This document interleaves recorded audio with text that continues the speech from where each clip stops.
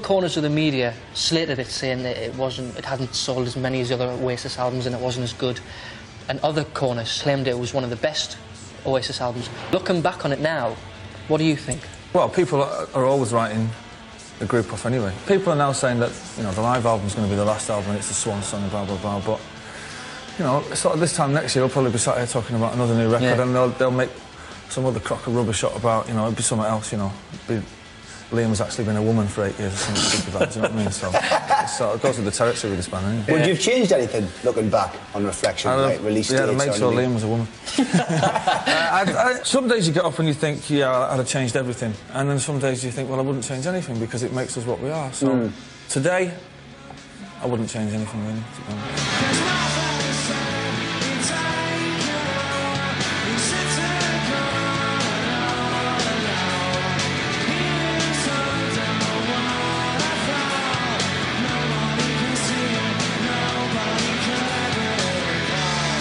To be honest. On with the album, uh, Familiar to Millions. Uh, not a lot of people will know that it only came about because of the DVD, Yeah, because of the footage of the Wembley gigs. yeah, because the, the second night went out live on, on the telly, and uh, Sony said, look, you better put you better put something out of that because it's just going to get bootlegged. So they come up with the idea of a DVD. At the beginning, I was like, yeah, well, whatever, you know.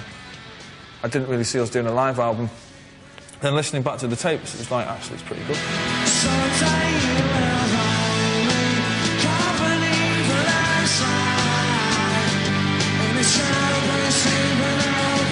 Have you written anything yet with uh, Gem and...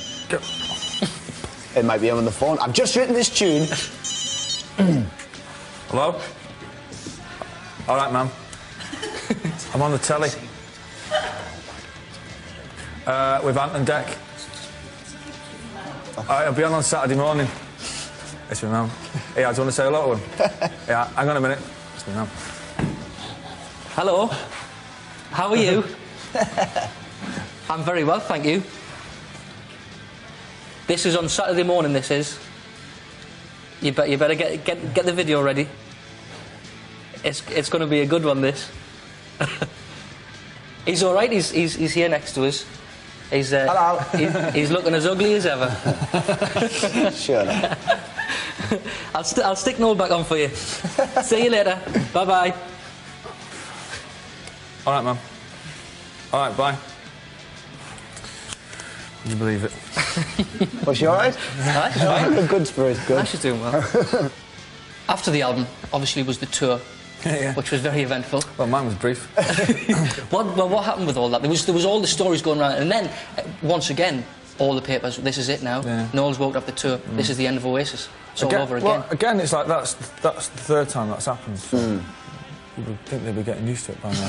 that was my hat trick. Um, then it seemed really important, and it was like, right, that's it. I'm never going to tour with you know with you lot again. And you know, six weeks later, you're like, you know, you're on stage at Wembley, and it's all fine again. So if anything, it- shows that you know we're not robots. You know what I mean? I suppose walking out on stage at Wembley and hearing the fans, you know, singing all the songs back. I mean, you'd have to be some form of idiot to just say, right, well, I'm going to pack all this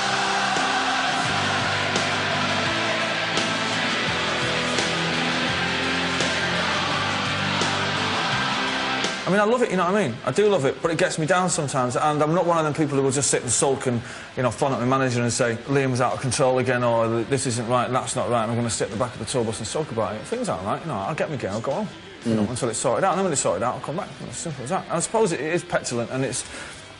It can be quite childish in a way, but, you know, I'm a rock star. You know, I'm paid to be childish.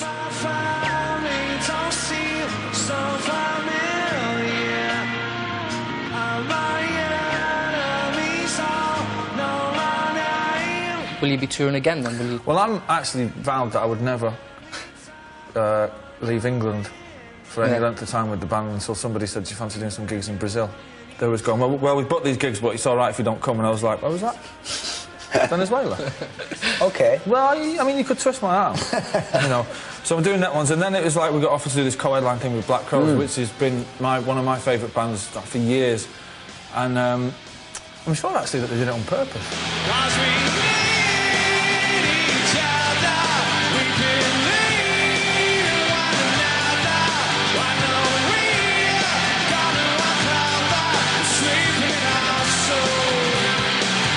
Are you all right now, you and Liam? Fine. Are you sorted? Yeah. Today? Yeah, it's, got, well, it's Today? like a- yeah, no, it's like anything, you know. It's if I if I spend too long in a room with him, you know, like five or ten minutes, I'm gonna fall out, you know. But um, Last weekend, obviously, last Saturday morning, we uh, we heard about Yeah. Liam going to be a dad again. When that when that comes out, something like that, do you just what the world needs is another Gallagher. do you did, did he phone you the night before, or did no, he tell no, you, or did no, you? he phoned me well, weeks ago. He hasn't actually said anything, so it's not wouldn't be right for me to start talking about it yet Yeah. because I think somebody from somebody's office has put out the standard press release. So un, you know, until he says anything, it's not for me to say because Yeah. it's it's between them and Nicky. Yeah. One thing though that I, we need we need your comment on is uh, he joked on Saturday. I don't know if it was a joke or not. That he might be calling the baby Beckham. Would, would that be would that be acceptable, Beckham? No, no, no, no. I doubt it, but I don't know. You know, you, you never know with him though what he's going to do.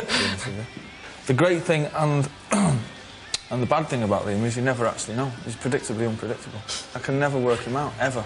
And I've known him. How old is he? He's 28. I've known him all his life, which actually really winds him up.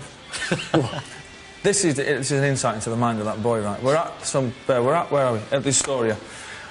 And I'm talking to some total stranger who neither of us ever met in our entire lives ever. There's a band on and the bloke's gone, blah, blah, blah. So he's chatting away. And in, he's, he's here, this bloke. And in between the pair of us comes this pair of sunglasses. And he goes, don't talk to him. So I thought this guy must be a journalist or something. So this bloke's a bit freaked out and says, don't talk to him. I said, why? He goes, he's got nips. Dead straight faced, right? So the bloke didn't hear him. I had to leave, right, and I had to walk like 50 foot away from him. So this poor bloke is like, you know, thinking, that- well, think- no, he's just thinking, well, hang on a minute. I was just talking to Noel Gallagher a minute ago, and his brother comes out, the pair of them just walks in opposite directions. He's got nips. And then he's going, and they jump as, he's, as I was walking off.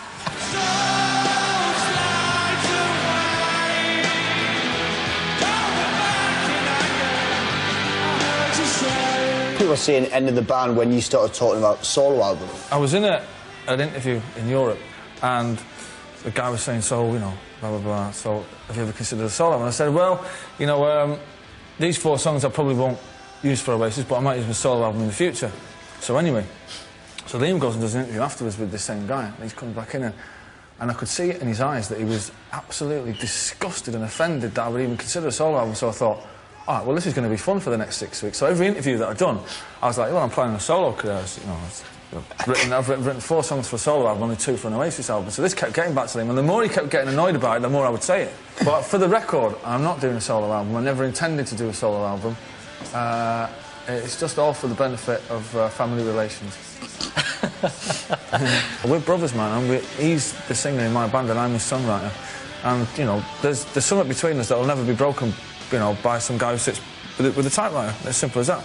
You know, and idle insults will never get in the way of me and him. You know, it's just it's, we are just the way we are. You know, it's as simple as that. Was it frustrating at a time when you were concentrating on the new album and the tour, the world tour, and all the media were interested in was the uh, the feud between Robbie and Liam? They bring it on themselves, you know what I mean? It's like they take they, they both take themselves too seriously. At the end of the day, they're just two singers. They don't even write their own songs, you know what I mean? It's like, you know, get a grip. You know, it's only rock and roll, man. Mm. You know, you'll be out of the game in 10 years. Enjoy it for crying out loud, you know what I mm. mean? Because you might die tomorrow, whereas I will live forever because I write all my own material. I know for a fact Liam thoroughly enjoyed his afternoon at the Q Awards. But what a lot of people don't realise is that he actually heckled every single person that moved that afternoon, not just Robbie. He even heckled us when we got, and it's like, and the winner of the best live band in the world is Oasis, and he was sat there going, that's Robbie! Ro-! Oh, it's us. Right, you know, he even heckled me on the way up, he was going like, that, you, you rubbish, you can't play the guitar. You know, so it's like he, he sort of, he didn't discriminate, you mm. know. I even caught him in the toilets looking at himself in the mirror going like ah, that. What are you looking at? Rubbish, you can't sing. You're rubbish. It's a crazy situation, but I need are cigarettes and football. Which would you rather, City win the league, or a new Oasis album in at number one? Oh, I'd rather City win the league. I'm not interested in chart positions or anything like that. I've had, I've had a fair share of number ones and singles and stuff like that. If Man City win the league, I'd donate all the proceeds of my next number one album to charity.